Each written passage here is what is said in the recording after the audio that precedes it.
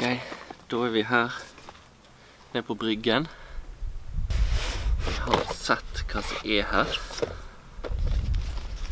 Vi får med en fin sånn eh, bag. Oppi her har du lader. Du har eh, beskyttelse til rotoren. Og du har fjernkontroll.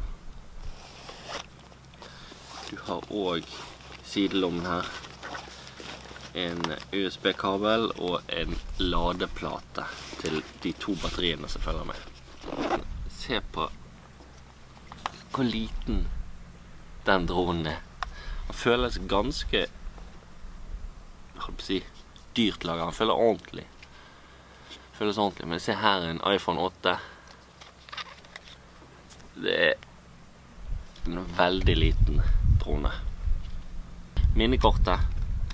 En liten luke her som står Spark på.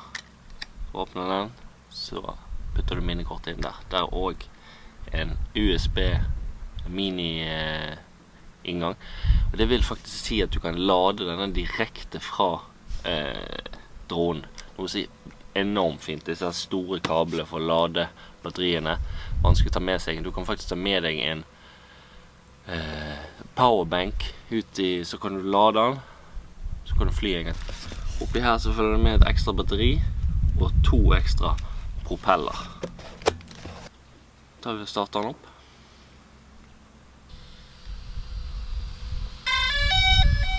Typiske DJI-lyden.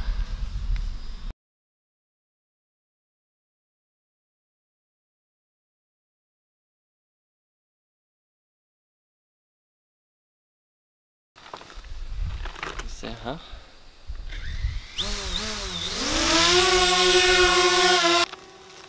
Da tar vi og hopper uti og satser på at dronen blir stående.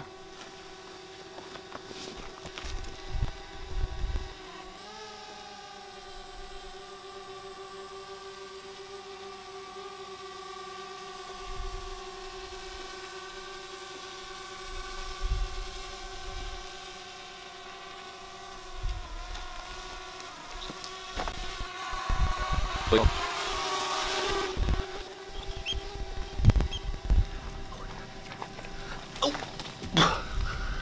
må jeg tørke meg før jeg kan flyte rundt tilbake.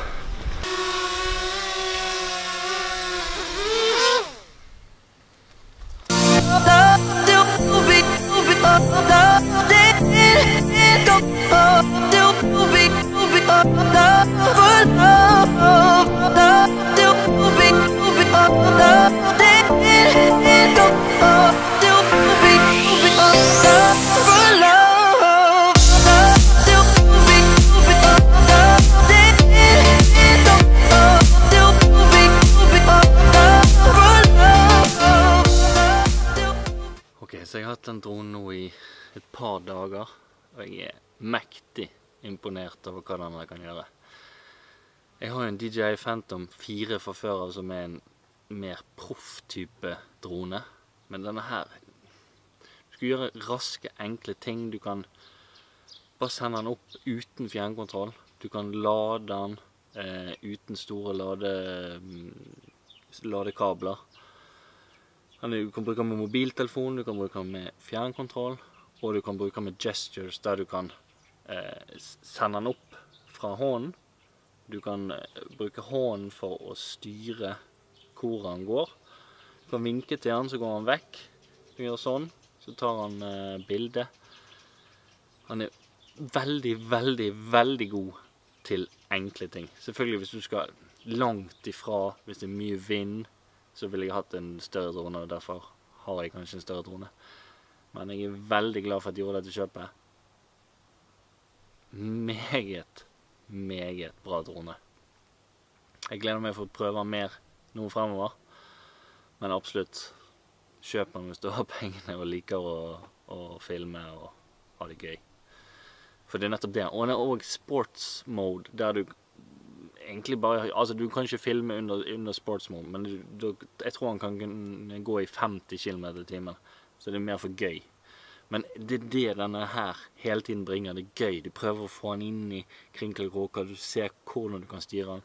Noe du ikke ville gjort med en større drone. Og selvfølgelig, skulle du av gårde til Syden, skulle du av gårde langt opp på fjellet, mye enklere å pakke. Så sinnssykt bra drone. Frem til neste gang, kos dere. Så snakkes vi.